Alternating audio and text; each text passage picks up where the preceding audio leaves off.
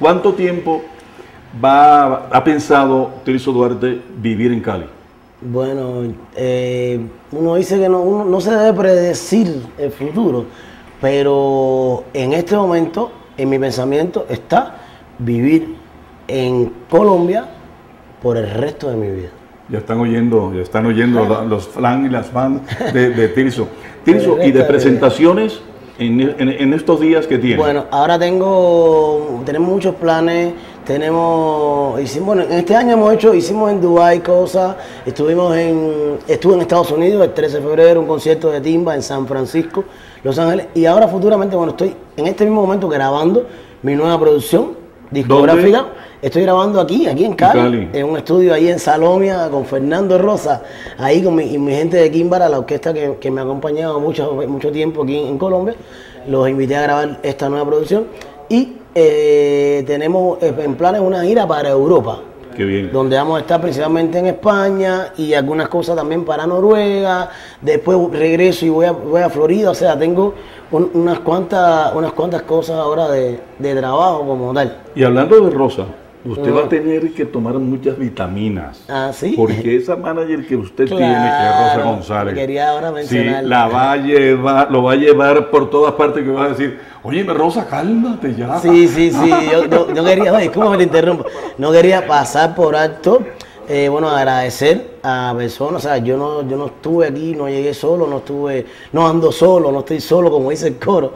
Eh, hay muchas personas que me han apoyado en este momento, sobre todo porque es muy importante para, en mi carrera artística, y quiero agradecer especialmente a Rosa González, RG Entretenimiento. Yo le digo mi mamá, yo le digo como que ella es mi mamá. Yo le digo mami, no porque sea vieja, es jovencita igual. Pero le digo mamá porque ella me atiende y me quiere como si, o sea, yo siento como si fuera mi mamá.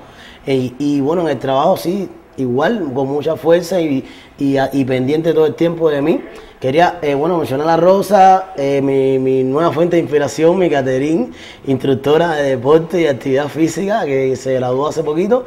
Y bueno, a mi papá, mi padrino, Robert Valencia, que ha sido un factor principal en, en mi carrera, eh, en, esta, en esta etapa, y, y en la parte emocional, la parte familiar como tal.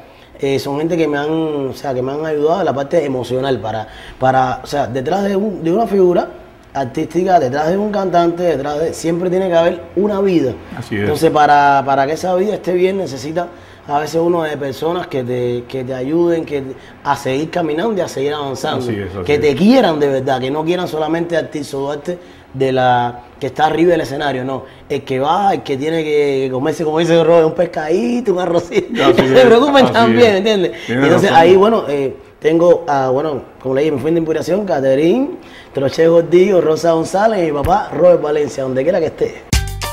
Oye, y llegó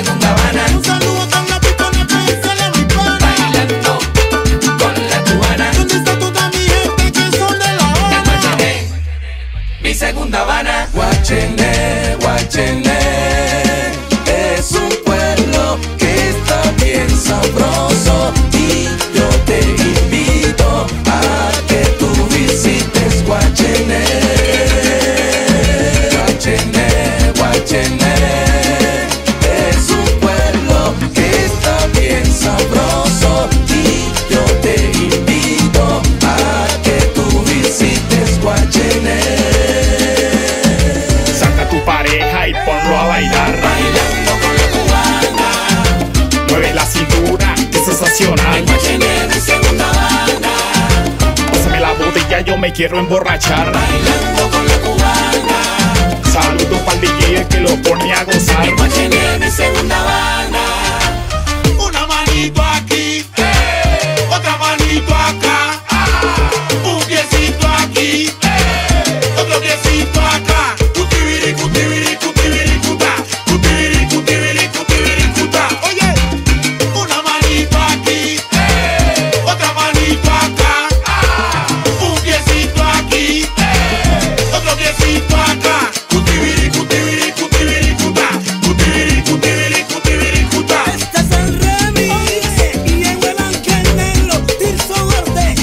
Hey.